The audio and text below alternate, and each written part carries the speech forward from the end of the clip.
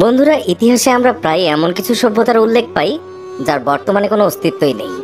এই হারিয়ে যাওয়া নগরীগুলোর মধ্যে বেশ নাম করা একটি নগরী হচ্ছে ইরাম। ইতিহাসের ছেঁড়া পাতায় কালের অতল গহ্বরে কোথায় যেন হারিয়ে গেছে, তা কেউই জানে না। এই শহরটির আদৌ কোনো অস্তিত্ব ছিল কিনা, তা নিয়ে মুসলিমদের মধ্যে নানান ধরনের বিতর্ক প্রচলিত আছে।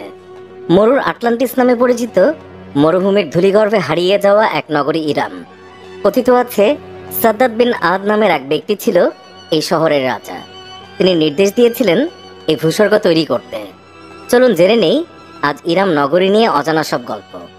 আশ্চর্যের বিষয় হচ্ছে, কেবল উপকথার পাতাতেই নয়, ইসলামের পবিত্র গ্রন্থ কোরআনে উল্লেখ আছে এই নগরীর কথা। তুমি কি ভেবে দেখনি, তোমার প্রতিপালক আদিজাতি ইরামে কি করেছিলেন? তাদের ছিল সুউচ্চ সব স্তম্ভ, যেমনটি পৃথিবী কোনো দিন আগে দেখেনি। সুরা ফাজর। উননব্বই বাই ছয় বাই আট। আর কোরআনের ভেবে দেখুনি কথা থেকেই ধরে নেওয়াই যায়, আরবরা ভালো করেই জানতো ইরাম নগরীর কথা।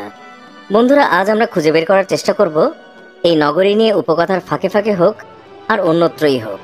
কি কি বলা হয়েছে? আর কি রহস্যই বা জড়িত আছে এর সাথে? কথিত আছে হজরত নূ আলাইসাল্লামের পুত্র স্বামীর ছেলেই আদ।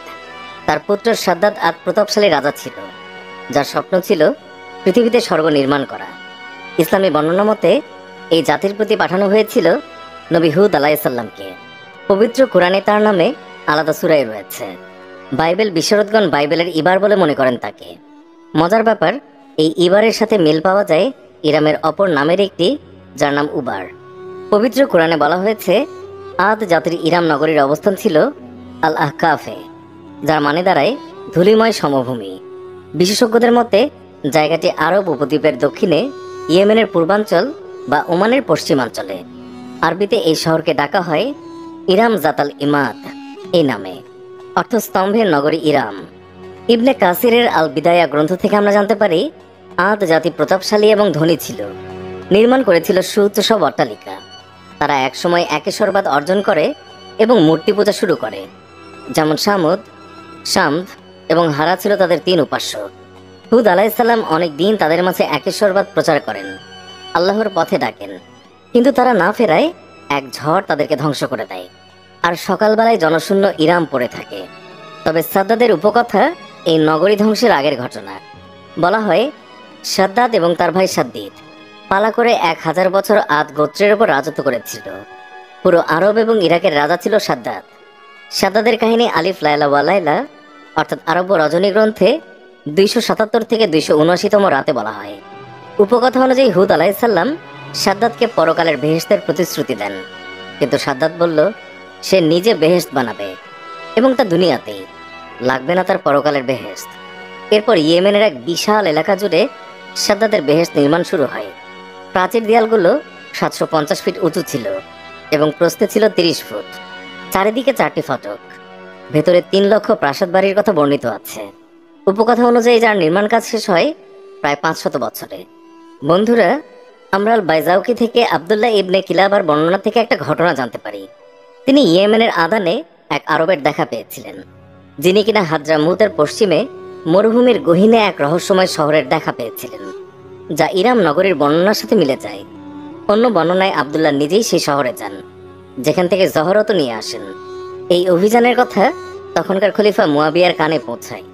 তিনি অভিযানের সত্যতা প্রমাণের জন্য খলিফাকে ইরামের কিছু মুক্ত দেখান, যেগুলো এখন হলুদ হয়ে গেছে, হারিয়েছে তার সৌন্দর্য। খলিফা তখন সাহাবি কাব আল আহবারকে জিজ্ঞাসা করেন সেই শহরের কথা। তিনি তখন কাহিনীগুলো বর্ণনা করেন।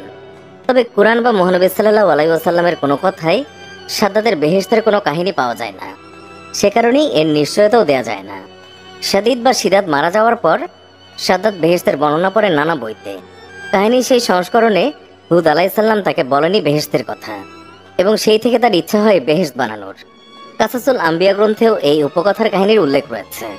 আজ আমরা সংক্ষেপে এই কাহিনী শুনে নেব। রাজা আদের মৃত্যুর পর তার বড় ছেলে সাদিদ রাজা হয়। সাতশো বছর পর্যন্ত চলে তার রাজত্ব। খুবই কড়া এবং ন্যায় ছিল তার শাসন। একবার এক লোক জমি কিনল প্রতিবেশীর কাছে থেকে, পরে কৃষিকাজ করতে গিয়ে গুপ্তধন আবিষ্কার করল। সঙ্গে সঙ্গে সে প্রতিবেশীকে সেই গুপ্তধন দিতে গেল, কিন্তু প্রতিবেশী নিল না। তার মতে, সে যখন বিক্রি করেছে, সবকিছু সেই করেছে। যোগ্য ফয়সালার জন্য তখন প্রথমজন বাচ্চা সাদিদের কাছে যায়। সাদিদ তখন দুই পরিবারের পুত্র এবং কন্যার মাঝে বিয়ে দিয়ে দেন, এবং সেই গুপ্তধন ভাগ করে দেন দুই পরিবারের মাঝে। হুদ আলাইসাল্লাম তিনি চেষ্টা করে অবশ্য পৌত্তলিক সাদিদকে আল্লাহর পথে আনতে পারেননি। তার মৃত্যুর পর উজির সাদ্দাদ রাজা হয়। অর্থাৎ এই সংস্করণে তারা পালা করে শাসন করেনি, বরং তার ছোট ভাই উজির বা মন্ত্রী ছিল। রাজা হবার পর তার কাছে হুদ আলাইসাল্লাম গিয়ে বেহেস্তের কথা বললেন। তখন সাদ্দাত বলল, তোমার প্রতিপালকের বেহেস্তের কোনো দরকার আমার নেই। এইরকম একটি বেহেস্ত আমি নিজেই বানিয়ে নেব। সাদ্দাত তার ভাগ্নে জোহাক তাজির কাছে সে সময় দুধ পাঠালো। জোহাক তখন পাশের এক বিশাল সাম্রাজ্যের রাজা।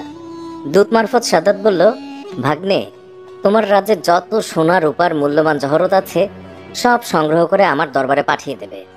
যত মেশকাম্বর আর জাফরানাদি আছে, সেগুলো আমি দুনিয়াতে এক বিশাল অনুপম বেহেস তৈরি করতে চাই। আশেপাশের অনুগত রাজাদেরকেও সাদ্দাত একই নির্দেশ দিল।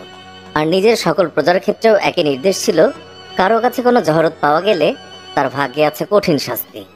তল্লাশিও চলতো নিয়মিত। এক একে জহরতে ভরতে লাগল সাদ্দাদের দরবার। বেহেস্তের স্থান বাছাইয়ের জন্য অনেক লোক নিয়োগ করা হলো। অবশেষে ইয়েমেনের একটি স্থানকে পছন্দ করা হলো। আয়তন ছিল একশো চল্লিশ ক্রোশ দেশ বিদেশ থেকে তিন লক্ষ সুদক্ষ কারিগর এলো। সেই সময় এক দরিদ্র বিধবা বৃদ্ধার নাবালিকা মেয়ের গলায় চার আনার রূপার একটি অলংকার ছিল। এক তালাশকারীর চোখে সেটি পড়ে যায় এবং সে ছিনিয়ে নেয়। দুঃখী মেয়েটি ধুলায় গড়াগড়ি করে কাঁদতে থাকে। সেই দৃশ্য দেখে দুই হাত তুলে ফরিয়াদ করে আল্লাহ তালার কাছে, হে আমার প্রতিপালক, তুমি সবই অবগত। দক্ষিণের প্রতি জালিম সাদ্দাদের অত্যাচারের দৃশ্য তোমার অদেখা নয়। তুমি ছাড়া আমাদের ফরিয়াদ শোনার কেউ নেই। তুমি সাদ্দাতকে ধ্বংস করে তোমার দুর্বল বান্দাকে রক্ষা করো। ওদিকে বেহেস্ত বানানোর কাজ চলছে পুরোদমে। চল্লিশ গজ নিচ থেকে মর্মর পাথর দিয়ে বেহেস্তের প্রাসাদের ভিত্তি স্থাপন করা হলো। আর তার উপর সোনার উপা নির্মিত ইট দিয়ে প্রাচীর বানানো হলো। বর্ণিত আছে কৃত্রিম গাছও বানায় সাদ্দাত, যার শাখা প্রশাখাগুলো ছিল ইয়াকত পাথরের। আর পাতাগুলো নির্মিত হয়েছিল সঙ্গে জবরজাত দিয়ে। আর ফল হিসেবে ঝুলছিল মণি, মুক্তার, হীরা, জহরত। আর মেঝে ছিল চুন্নি পান্নার মতো মূল্যবান পাথরের, সাথে মেশকের ঘ্রাণ। সাথে সাথে ঝর্ণাধারা ছিল দুধ, মদ আর মধুর। আর টেবিল, চেয়ার ছিল লক্ষাধিক, সবই সোনার তৈরি। মোট কথা এলাহি কাণ্ড, মনোহরী এক দৃশ্য। নির্মাণ কাজ শেষ হলে সেই বেহেস্তের ফটক দিয়ে ঢোকার জন্য হাজার হাজার সেনা নিয়ে অগ্রসর হলো সাদ্দাত। তিন হাজার গজ দূরে এসে তার বাহিনী অবস্থান নিল। এমন সময় অদ্ভুত এক হরিণের দিকে তার নজর পড়ল। দেখে মনে হচ্ছিল হরিণের পাগুলোর উপার এবং শিং সোনার এবং চোখ ইয়াকুত পাথরের। সাদাদের শিকারে নেশা ছিল। বাহিনীকে থামতে বলে নিজেই সেই হরিণটি ধরার জন্য রওনা দিল। কিন্তু হরিণের আর দেখা মেলেনি। এক বিকট অশ্বারোহী তার পথ রোধ করে দাঁড়াল। যেই না সাদ্দা তার বাহিনীর কাছে সরে এলো, অশ্বারোহী বললেন এই সুরম্য প্রাসাদ কি তোমাকে নিরাপদে রাখবে? সাদ্দাত জিজ্ঞাসা করল, তুমি কে? আমি মালাকুল মৌত মৃত্যুর ফেরেস্তা এখানে কি চাও? এখনও বোঝনি, আমি তোমার যান কবজ করতে এসেছি। সাদ্দাত নিষ্পলক চোখে তাকিয়ে রইল, তার স্বপ্ন পূরণ না করেই চলে যেতে হবে। আমাকে অন্তত একবার আমার পরম স্বাদের বেহেস দেখতে দাও।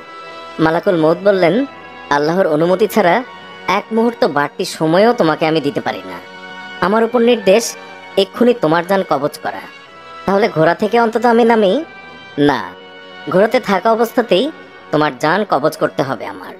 সাদ্দাত এক পা মাটিতে রাখতে গেল। কিন্তু সেটি মাটি স্পর্শ করার আগেই আজরাইল আলাইসাল্লাম দেহ পিঞ্জর থেকে তার আত্মা বের করে নিলেন। আর জিব্রাইল আলাইসাল্লাম এক প্রকাণ্ড শব্দ করলেন, যাতে মারা গেল উপস্থিত সেনাবাহিনী। আর অসংখ্য ফেরেস্তা এসে তারা ধ্বংস করে দিয়ে গেল দুনিয়ার বেহেস্ত পড়ে রইল শুধুই এক ধ্বংসস্তূপ। কাসাসুল আম্বিয়া গ্রন্থে বলা হয়েছে সাদ্দাতের বেহেস্ত কেয়ামতের আগে কখনোই আত্মপ্রকাশ করবে না, অর্থাৎ খুঁজে পাওয়া যাবে না। উপকথায় তাই বলা হয়েছে। আরও বলা আছে, কাবরা নাকি বলেছিলেন, তিনি রাসুল্লাহ সাল্লাহ আলাইসাল্লাম থেকে শুনেছিলেন, আবদুল্লাহ নামের এক ব্যক্তি সাদ্দাদের বেহেস্তের কিছু নিদর্শন দেখতে পাবে কেবল। খলিফা মুয়াবিয়ার নিকট আসা সেই ব্যক্তির নাম ছিল আবদুল্লাহ বিন কিলাবা।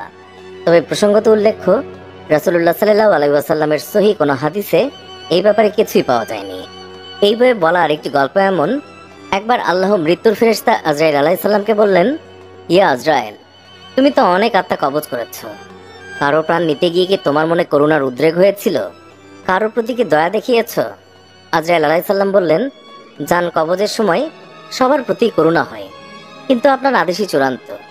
তবে কোন আত্মা হরণের সময় তুমি সবচেয়ে বেশি করুণা অনুভব করেছিলে।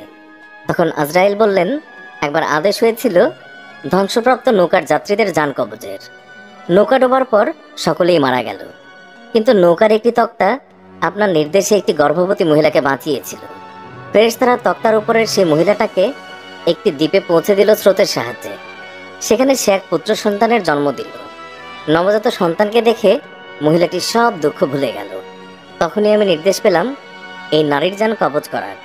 আর নবজাত শিশুটিকে তার পাশে রেখে যেতে হবে জীবিত। তখন আমি কেঁদেছিলাম, এই শিশুটির কি হবে? তার তো মৃত্যু ছাড়া আর কোনো গতি নেই।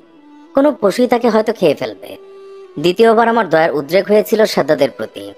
সাদ্দাদ এত বছর চেষ্টা করে তার প্রাসাদ তৈরি করল, অথচ সে তা এক নজর দেখা থেকে বঞ্চিত রয়ে গেল।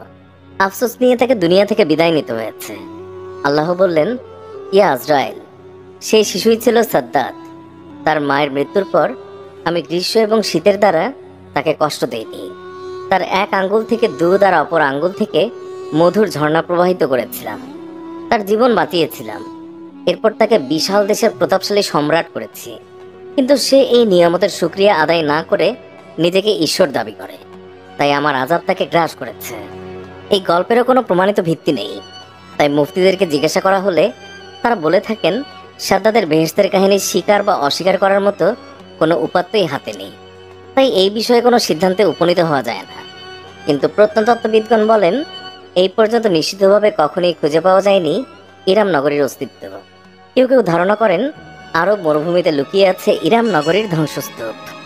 তো বন্ধুরা, কেমন লেগেছে আমাদের আজকের এই ভিডিওটি? ভিডিওটি ভালো লাগলে শেয়ার করতে পারেন এবং আপনি যদি এমনই রহস্য, রোমাঞ্চ আনকমন আর ইন্টারেস্টিং ভিডিও দেখতে পছন্দ করেন, চ্যানেলটিকে এখনই সাবস্ক্রাইব করুন এবং পাশে রাখা বেল আইকনটি প্রেস করুন। তো দেখা হচ্ছে আগামী এপিসোডে ততক্ষণ পর্যন্ত ভালো থাকবেন। ধন্যবাদ।